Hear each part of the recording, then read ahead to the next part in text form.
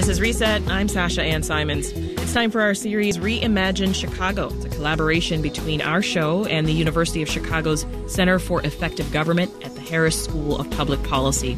Now, this spring and summer, we are examining four institutions and systems that play a pivotal role in our civic life. That's city government, community investment, public safety, and schools. And we're reimagining how they could work better for Chicago residents.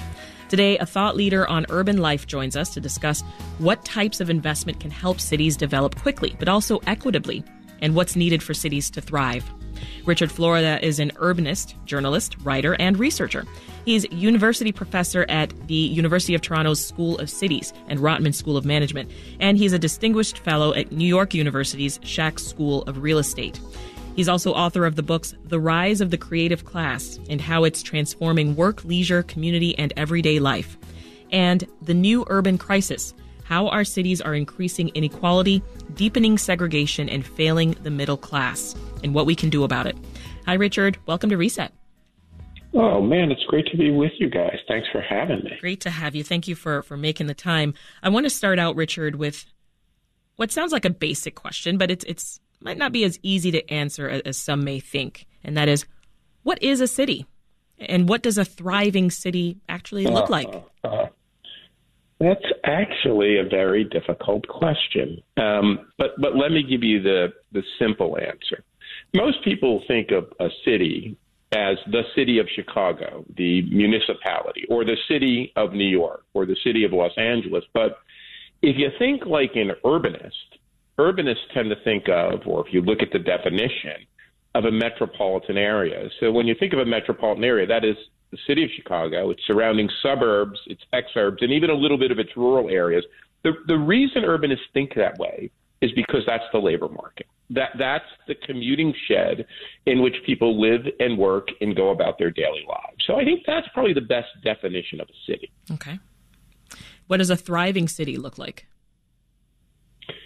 Well, you know, a thriving city is a place that, that I think provides great economic opportunity for its residents. If we go back to this idea of a metropolitan area being a labor market where people live and work and, and have a home, pay their bills, I think a thriving city is one that provides economic opportunity for all of its residents. Now, let me let me tell folks out there the, the United Nations in the past several years created actually a goal for cities. They've always had sustainable development goals for a good environment or a prosperous planet, but they actually created a specific goal for cities, and that's called Sustainable Development Goal 11.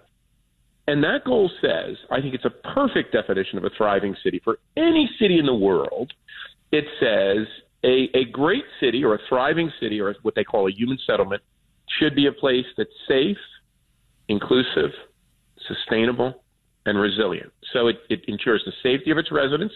It makes sure people have great economic opportunity and are included. It's not horribly unequal or unaffordable. Mm-hmm. It's sustainable in that it protects its environment. It's resilient that it can take shocks, economic shocks or natural disasters or health shocks like the COVID crisis. I think that's a pretty good definition of a thriving city. This is a, a very solemn week right now, Richard, as we remember George Floyd and we remember his life and how his murder impacted our world. And so I wonder, as someone who is dedicated to understanding and visualizing cities, did the social revolution that was born from Mr. Floyd's death, did that change your perspective in any way? Yeah, I, I think it did. I, I think, you know, I, I became an urbanist because in the year 1967, my hometown of Newark, New Jersey, as a very young boy, exploded into civil disturbance, or what was then called, I'm making air quotes, listeners, riots. Uh, I was driving with my dad. My dad was taking me to the Newark Public Library, and uh, I saw my city in flames. I we actually heard gunshots. Uh, my dad told me to get down on the floor of his Chevy Impala. Um, uh, police pulled us over and said, "Turn around, you know, go back wherever you were coming from." And uh, I saw literally tanks and and the National Guard occupying my city. So that frame, that's the reason I became an urbanist. Um, but this summer, I saw something different, uh, born out of tragedy, just like the Newark riots were born out of a, an in- incidents, those incidents of police brutality way back when. But I saw something different. I saw a group of people of all races, all classes, professional, knowledge workers, students, people from less advantaged neighborhoods, all levels of education, band together, not just in Minneapolis, but in Chicago, in New York, and all across the United States and the world to say, we and, and sometimes called the Black Lives Matter movement, sometimes other different rubrics, but saying saying to the world, we can't tolerate this. Not just not just instances of police brutality, which are horrific, um, but the racial and economic injustice and class division, class and racial division, which underpins it. Mm-hmm. So, yeah, I think out of tragedy, sometimes we get a new perspective. And I think that combined with this rethinking that COVID brought about how and where we live, give me some, it's, it's a, it's a, I don't, I hate to call it a, so it's a sliver of optimism. Mm. Uh, coming out of a horribly tragic and, and awful situation, which we should never have to endure again. Yeah, the pandemic, uh, this racial reckoning, the economic collapse, it all forced many experts and, and leaders to rethink and, and, to overhaul their theories of what a societal and, and, civic life should look like. But you were years ahead of this moment with a, a mea culpa of your own. What was that journey like? It's so funny. Thank you. And and folks, we didn't prep this. We didn't like talk in advance. So, we sure didn't. uh, uh, no, we didn't. And that's exactly what I was thinking. When you asked that question, I was thinking, you know, I had already begun this introspection. Something was already. It's not just me. Something was already changing in our society. I'll tell you what happened. Um, two brilliant sociologists contacted me. I'm a I'm an urban geographer, urban planner. Some people call me an urban economist. I'm really not an economist. I play at economics, but um, I'm not a sociologist, an urban sociologist. I'm not an expert in crime, but a fellow named Rob Sampson at Harvard who wrote a brilliant book on Chicago. He was many, many years in Chicago. And one of his students, Pat Sharkey, who was at NYU then, is now at Princeton, said, You know, Richard, you have been studying concentrated advantage, how these clusters of high tech industries like the Silicon Valley or whatever emerge. And you've been understanding how clusters of wealth and of talents of universities go together. But we've been studying concentrated disadvantage, you know, as occurs in less advantaged parts of Chicago or New York or Boston. And we came to the conclusion that in a way they were mirror images reversed of urban life. What urban life today is, is a, a series of very small areas of concentrated advantage. You know where they are in Chicago, surrounded by much less larger spans of concentrated disadvantage that actually now head out into the suburbs and, of course, into rural areas. So that's what I set my mind to figuring out how the middle had been eviscerated in our cities, the middle class, those strong middle income neighborhoods. My dad worked in a factory, mm-hmm. you know, and, and was able to buy us a middle class home in a suburb of Newark, New Jersey, but that's gone today. So I really tried to understand in this book called The New Urban Crisis this juxtaposition of very small areas of incredible wealth and advantage surrounded by much larger spans of disadvantage. And that was kind of my own reckoning with my own work and with urban life today. We are in this uh, technology age for the uh, for the duration. What productive role, Richard, should big tech play in, in how cities function and how they grow? Well, the way the way I think about this is not just big tech, but think about the University of Chicago, a sponsor of, of this conversation, the University of Illinois Chicago Circle, these great universities and medical centers, your big companies in Chicago, insurance companies, banks, consultancies, airline companies, whatever, and then real estate companies and big tech companies. And I think the way I like to think about all of those is I call we call them in the field anchor institutions. They are the places that anchor local economies. And you know what happened, and I, I think Chicago has been better than most at this, is that we, we, we came around to seeing companies as somebody we want to lure in with a big incentive, like the Amazon. I, I'm I'm an Amazon customer. I get packages delivered for my kids every day. I think they have great customer service, but I don't think cities should be spending billions of dollars to attract an Amazon headquarters, or what they called HQ2.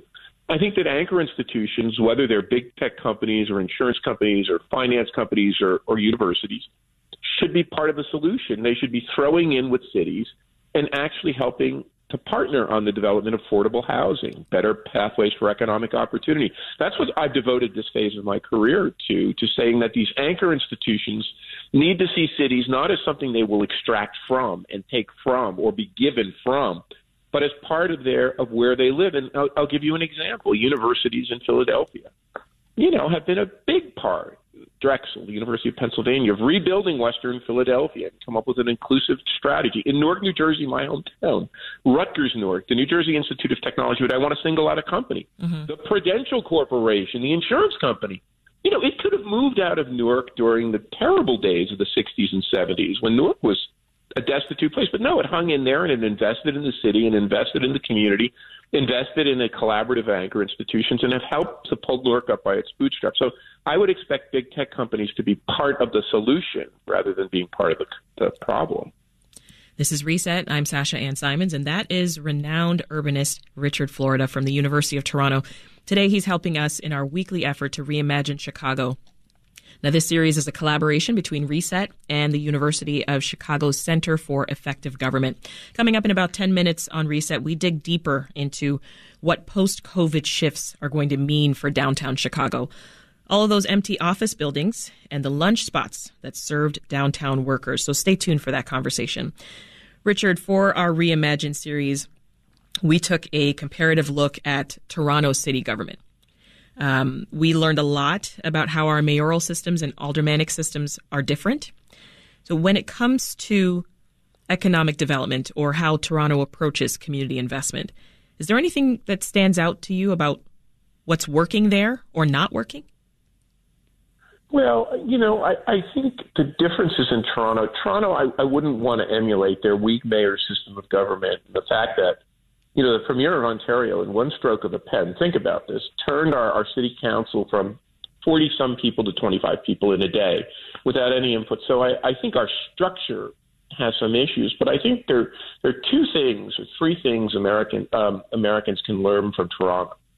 One is Toronto has great urban schools, and that's because they're provincially funded. We don't have locally funded schools. So almost every kid in Toronto gets an, I wouldn't call it an equivalent education. Some richer neighborhoods can pay a little more and do things at the margin. And of course, they're private schools, but, but, but basically, uh, everyone of any racial or ethnic or class position gets an equivalent or analogous education. But then the University of Toronto, which is a gigantic university where I teach, three campuses, 90,000 students, almost every kid growing up in Toronto is able to get themselves admitted to the University of Toronto. So if you if you if you go into any neighborhood in Toronto, you can find kids that went through the public school systems and are now in the University of Toronto.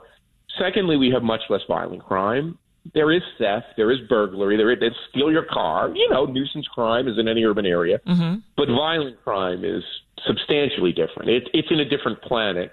And then thirdly, although the system has come under crisis with COVID, um, and you know Toronto's still you know in a lockdown because of this because there's not enough ICU beds. Um, the public health system, the publicly supported health system, means that everyone in Toronto has access to equivalent health care. So I think that means that you get a fairer city, a better city, warts and all.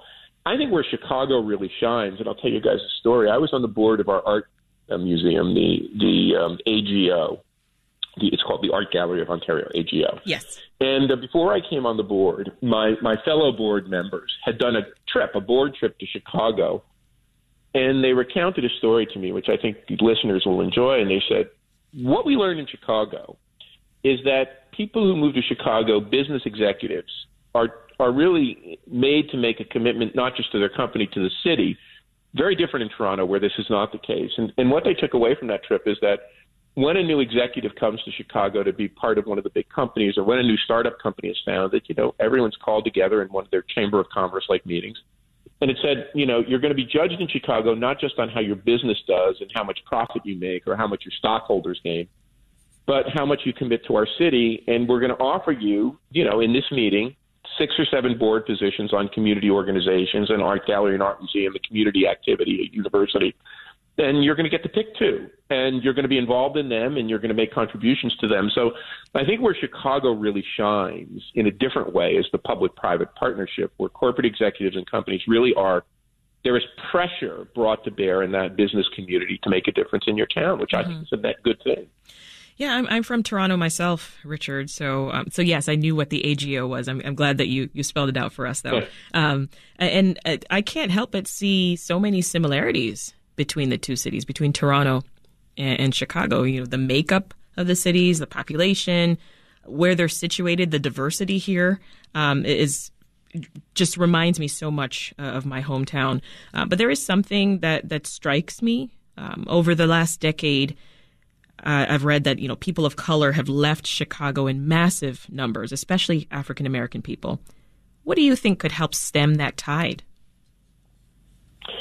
Well, you know, Toronto is you you know this because you're from there. If if folks listening we don't consider ourselves in Toronto a melting pot. You know, my my parents, my dad Luigi named us Richard and Robert, Italian Americans that didn't speak Italian in the home. Mm-hmm. In Toronto, there's the idea of the mosaic, where you get to keep a bit of your culture, whether now you don't have African, whether you're a Black Canadian, whether you're a you know Middle Eastern Canadian, whether you're Italian Canadian, and you get to keep your culture and add the new one. I think that's really important. Yeah, I had only ever heard the term melting pot in reference to the U.S. Yeah, and, and the other thing is, of course, and I don't mean to say this, I mean, Toronto experienced most of its migration after the war, which means it was a relatively affluent society at the time that it got its new influx of African or Afro Caribbean or Italian or Portuguese, or now it's you know it's really an Asian city, as you know, it's more of an Asian and Indian city. So all of that means that immigration didn't bring the conflicts. I, I do think, though, it is a fairer city, and it, it is a less. I mean, look, it's a segregated city. I'm not. It's an unequal city. If I said this, people in Toronto would say, "No, don't sugarcoat this." Black Canadians don't do as well as Caucasian Canadians. That said, it doesn't compare to, to what's happened in Chicago. So I think it is a fairer and juster city. By the way, just to add to that, um, back when Richard Daley was mayor of Chicago way back when, and David Miller was mayor of Chicago, and I first moved, uh, mayor of Toronto, and I first moved to Toronto. We actually had great hopes that we could do more things together as kind of we, we kind of joked and called them the twin pillars of the Great Lakes, Chicago and Toronto on each end. Yeah. I'd love to see us get back to that. I'd love to see more comparison, more work together, more learning from one another. I, I thought it was a great idea, and I was going to be involved in that. And then, of course, Richard didn't run, and then David didn't run, and, and so it never happened. Well, let's look around the world for, for best practices um, in the interest of time. You wrote an op ed, Richard, uh, about how Paris chose to leverage its COVID shutdowns to reimagine that city. So, can you t- tell us more about what's happening there? Well, I'm worried. You know, I, I wrote an op ed in the New York Times several years ago, which I titled The Urban Revival is Fragile. Of course, the headline writers at the New York Times, being much better than me, titled it under my byline, the urban revival is over. Quite a different and a little nuanced shift in wording, but but the point I made is that I think with the rise in urban crime, with the rise in urban inequality, with uh, now add COVID, accelerating that with COVID, you know, you were beginning to see an urban revival that happened over the course of the past decade or two could turn around. And I think we've seen some of that. I think it's really under threat. I really do. I think this is the first time in my life, and you're going to have this you're going to talk about what's happening in the downtowns. I think that's what's happening in the commercial corridors is really worrying. Mm-hmm. Uh, and that's why I think what's happening in Paris is really interesting. Mayor Hidalgo has said, look, we have an opportunity to remake Paris, not as a city where people live in a suburb and commute to a downtown and where cars overtake our streets, but she wants to make it walkable, bikeable, the, seats, the streets safe for pedestrians. And the term urbanist used for this, folks, is called a 15 minute neighborhood. A French professor came up with this idea, and the mayor embraced it.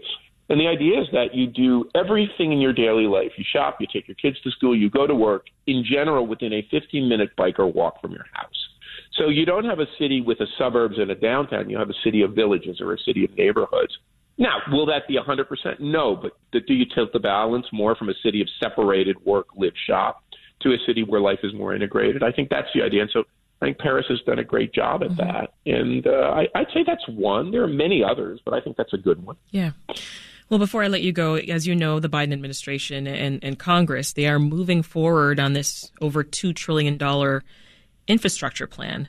Where should those investments go in order to truly make life better for often ignored Americans? Well, we're very lucky. That uh, last week I talked to a fellow named Steve Goldsmith, who was the mayor of Indianapolis, but he now is at the Kennedy School at Harvard, the equivalent of your own Harris School. I kind of think of Steve as the dean of mayors. He served under Republican President Bush. He served under President Obama. I kind of think of him as the dean of mayors, and we got to talking about this. And I think our biggest conclusion was don't spend it on the infrastructure of the past. Like, don't build more roads and tunnels and bridges and, and put more cars on the road. Build it on the infrastructure of the future and build, spend it on the infrastructure that can make us more inclusive. A lot of those roads not not only destroyed the social fabric of our city, you know, they went through low income neighborhoods and destroyed the the community bonds and texture and cohesion. So stop that. I think I think spend some of it to heal those communities, to go back and rebuild those communities and take those roads out, those highways that mowed down my my own my my father's boyhood home in Newark. They just mowed it right down in the old Italian ghetto. So begin to patch and stitch. I think, of course, we have to invest in, in providing good digital technology to all of our citizens, including our rural citizens who are, are disconnected. Um, making sure that everyone has access to digital technology they need to achieve. And, and I think just investing in better and stronger communities, uh, investing in infrastructure. And I think the Biden administration is talking about social infrastructure and childcare, but making sure it's not just roads and bridges and highways and digital technology, but the kind of human infrastructure, educational, childcare, poverty mitigation, economic opportunity that, that we need to survive and thrive. By the way, you know, it looks tough this moment, but I'm actually more optimistic. Here's my little worry. My little worry is that you're going to come out of this COVID thing, and just like in the 1920s, we had the Roaring Twenties. We're going to look this summer at the Roaring 2020s. You can already see people milling about in Chicago and the beachfronts getting crowded. I just hope that we don't lose track of this idea that we should be a more inclusive society. Mm-hmm. I hope that we stay focused on that. I really, I really hope that we can stay focused and not only rebuild our economy and you know what I'm saying, get back to having a normal life, but keeping yeah. our eyes on the balls of being more inclusive with regard to class and race. And I hope we can stay focused on that. A little bit of optimism always helps. That is Richard Florida, urbanist and professor at the University of Toronto. His books include The Rise of the Creative Class, as well as The New Urban Crisis. Richard, thank you so much for joining us. No, it's a pleasure being with you. Uh, thanks for having me. Want more context on the top issues of the day? Find the podcast, WBEZ's Reset, wherever you listen.